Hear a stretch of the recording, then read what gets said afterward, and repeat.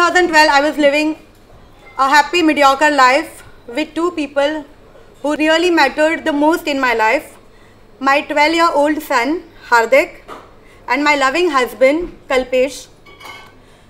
He was a perfect father, a very caring husband, running a healthy business in which I was helping him out. Till one day, I got a call. It was like 1 a.m. in the night.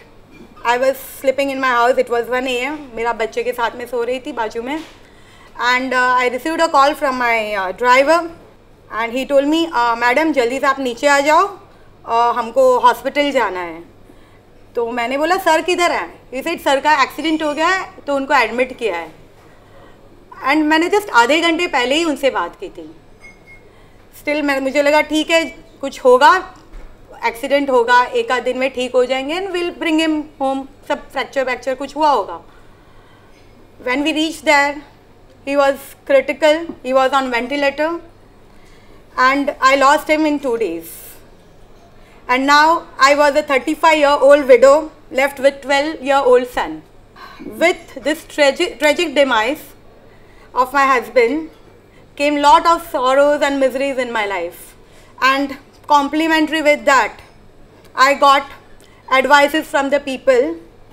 क्योंकि वो suddenly ऐसे होता है कि if a woman in a society if she lose her husband she also lose out on the ability of thinking about herself what to wear and ये सब लोग अपने ड्रेस डिज़ाइनर बन जाते हैं, कोई मेकअप आर्टिस्ट बन जाता है, वो आके हमको बोलता है ना विडो शुड वेयर दिस उसको ऐसे कलर्स पहनने चाहिए, उसको ऐसे बात करनी चाहिए। अब इसको भगवान में मन लगाना चाहिए। I was just thirty five years और मुझे बोलते थे, भगवान में मन लगाओ।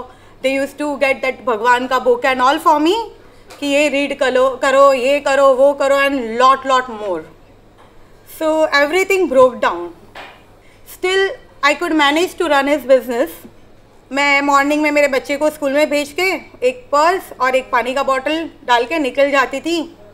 क्योंकि बहुत सारे बैंक के अकाउंट्स मेरे को क्लोज करने थे, हर जगह पे प्रूफ देना था डेथ सर्टिफिकेट मैं उनकी अभी विडो हूँ, मैं पहले वाइफ थी, कहीं पे साइन करना है मिसमैच हो रहा है and because it was an accident तो थोड़े पुलिस के भी चक्कर रहते थे, उसके बाद मैं ऑफ़िस जाती थी, रात को आती थी, थक वक के थोड़ा ब्लैंकली सोच सोच के सो जाती थी।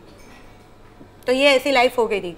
My weekly days were like Monday Tuesday Wednesday Thursday Friday Saturday and a depression day क्योंकि संडे तो होता ही नहीं था फिर।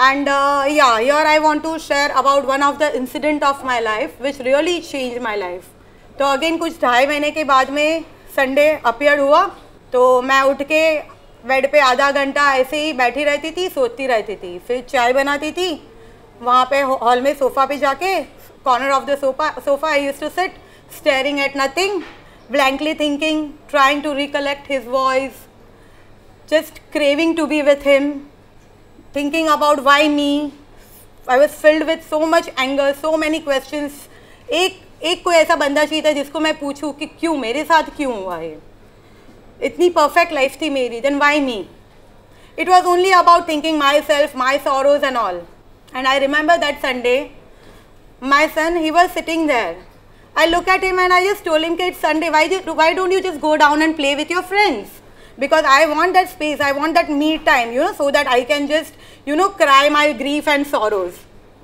And he is like mama it's sunday. So my all friends they have their plans and they go out with their mom and dad. So there is no one to play. And uh, this is what we have been doing from the time we have lost the dada. And it struck me. I was shaken. I was like, this is not going to happen to my kid. I mean, I'm not letting this happen to him. I become so mean, so self-centered, so selfish that I'm thinking only about myself and my loss. जैसे ये बच्चे का तो कुछ है ही नहीं करके even he has lost his dad he was just twelve years and this is the time he need his dad the most उस दिन आई जस्ट टोल हिम कि चलो you just plan a dinner will go out for food he he was like little he was looking at me ke mama are you okay karke i said yeah we can go i literally had to gather the courage to get dressed up you know. वहाँ से I remember कोई कोई pizza विज़्ज़ा खाने के लिए हम लोग गए रेस्टोरेंट में। एंड आई वॉज़ एक्सपेक्टिंग कि हार्दिक मेरा सन थोड़ा सा मतलब he'll feel happy and excited कि चलो मम्मा लेके आई है कुछ बड़ा काम किया मम्मा ने। वहाँ पे जाने के बाद में ही वॉज़ सिटिंग सामने और uh, बाद में he was just looking around here and there मैंने सोचा ये क्या देख रहा है करके why is why is he behaving like this so I was just trying to understand और जब मैंने देखा तो ही वॉज़ लुकिंग अराउंड हर एक उस बच्चे को देख रहा था who were there with their father and he was missing his dad he was missing the moment जब वो अपने पापा के साथ जाता था यू नो वीडियो गेम्स उनके साथ खेलना, वो जिद करना, मुझे डेजर्ट मंगवाना है talking to them about that football match and cricket match and this and that and all and I realise कि he is no more more that same kid जो उसके पापा छोड़ के गए थे मेरे पास. His sad eyes were filled with tears that confuse expressions and उस टाइम पे मैंने बस पता नहीं क्या हुआ मैंने उसका हाथ पकड़ा एंड आई टोल्ड हिम कि yeah definitely life has given us lot of pain lot of sorrows lot of miseries but we are the one who is who are going to decide that what we are going to make out of our life.